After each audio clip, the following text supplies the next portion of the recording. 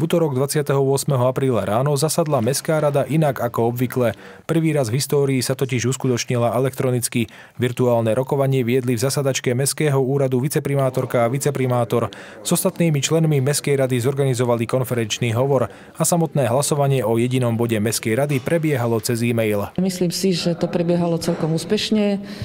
E, jediným bodom e, rokovania bolo rozpočtové opatrenie primátora mesta číslo 3 z roku 2020. Mesto chce spustiť akciu e, rekonštrukciu Mokrolužského mosta, tak sme tam uvoľňovali časť peňazí. Uznesenie bolo jednomyselne prijaté.